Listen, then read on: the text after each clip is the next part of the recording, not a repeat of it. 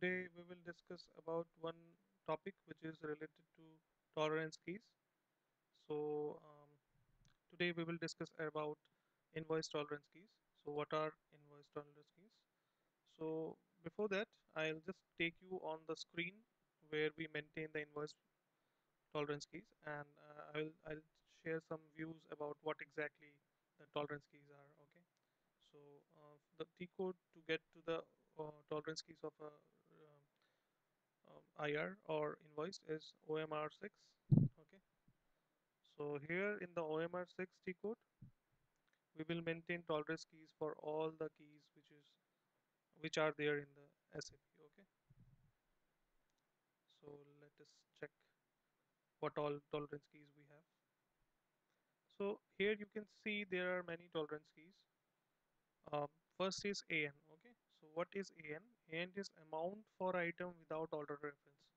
It means that if whenever we provide this type of tolerance keys if I open it so here you can see there is only upper limit is present okay?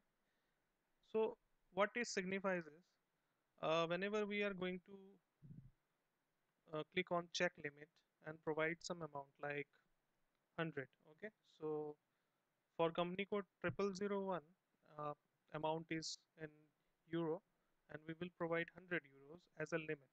Okay. If I save it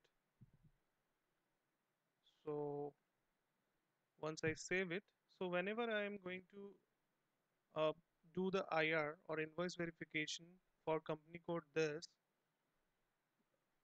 so uh, the system will always check that my amount should not increase above than 100 euro. Okay like um, if suppose and this this tolerance key is specifically for um, not for the PO references. The IR uh, created from PO references. It is from the GL directly putting um, invoice uh, verification in GL or material okay? So it is not dependent on the PO okay? So there here you can see that it is written that amount for item without order reference means there is no requirement of PO in the invoice verification. So at that moment this tolerance key is used okay? So now we come to our next tolerance key. Our next tolerance key is amount for item with order reference. Similarly the name signifies means the description signifies that in this tolerance key there is no order reference. In this reference key there is an order reference okay? So here uh, how system checks is if we put here check limit and provide suppose 200 okay 200 euros.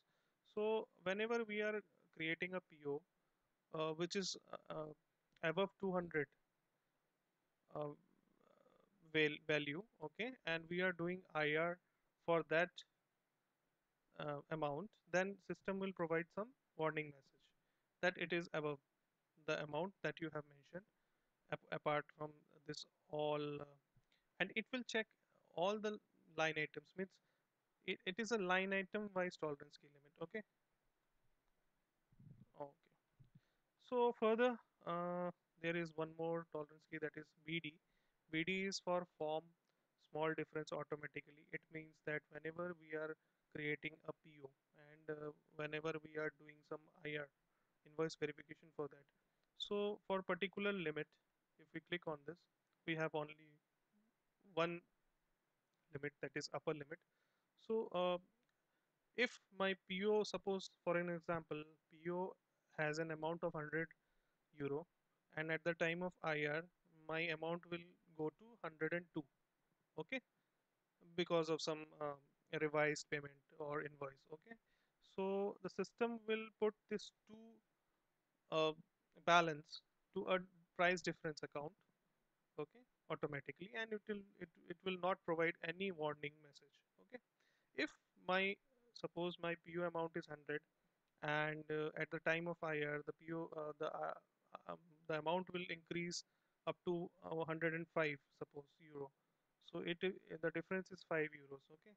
So at that moment of time the system will provide you warning message and after the uh, IR posting it will go for a payment block so this is the significance of BD now br and bw are the two tolerances which is uh, important in that case where uh, the order unit uh, order per price unit and order unit are different.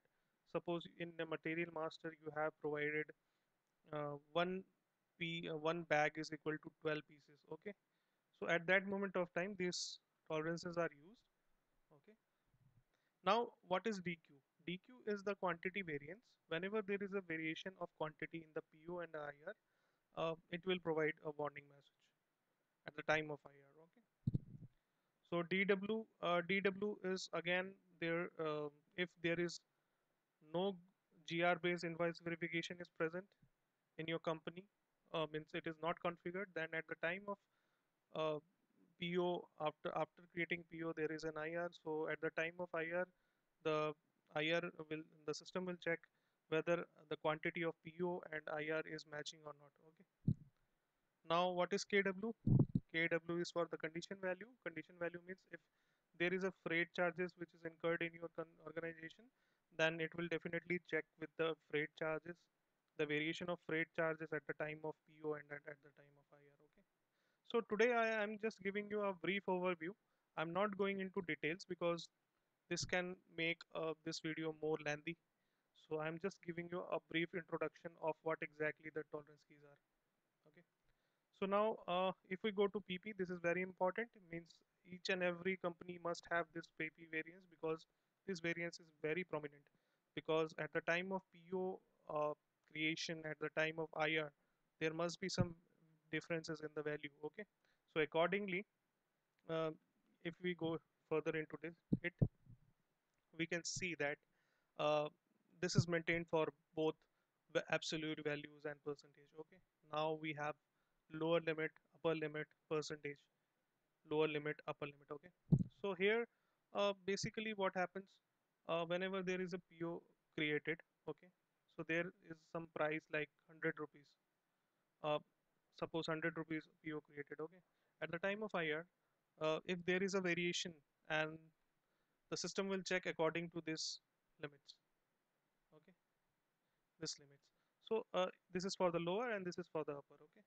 So basically in upper limit whenever there is 100 rupees 100 euro PO and we create an IR which is more than uh, means 106 or uh, 105 or more than 106 so the system will definitely give you a warning message that at the time of IR your price is different okay there is a variation of price at the time of PO and at the time of IR so this is very important PP variance. Now if we go for PS so what is PS so here you can see it is exactly same uh, the working principle is same as price variance but there is a difference of estimated price. So in the PO if you mark your net price as an estimated price then it will work accordingly okay? There is much there is no not much variance uh, means difference between price variance and price variance estimated price okay? So only difference is if you mark your uh, price at the time of PO net price as estimated price then it will work.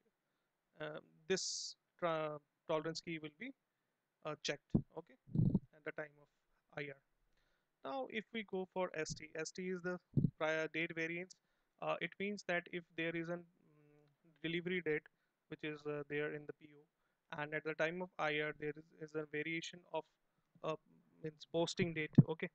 So accordingly this uh, tolerance key will stop or uh, warn us whenever we do a invoice verification. Now VP VP is moving average price. Moving average price as we all know that whenever there is a material created so it has uh, means whenever we procure a material so we have a price and once we uh, procure that material again so according to their average price we will take as moving average price okay?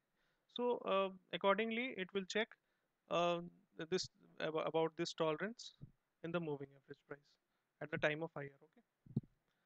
So so these are the most prominently used uh, tolerance keys and these are very important. So in SAP mostly in every company these tolerance keys one of the important tolerance keys are PP and VP if there is a, a stock material okay? So these are very important and um, it uh, we can use and DQ as well. So this is the for the quantity variance. So these two three uh, tolerance keys are very important and is uh, that they are used in every company. But according to your scenario according to your business process you can incorporate any other tolerance keys as well so hope this is just an overview of a tolerance keys and uh, i have not covered anything means like example and all uh, for but for this uh, i can create another video in which i can uh, provide you detailed analysis of each tolerance keys. So thank you very much for today and have a nice day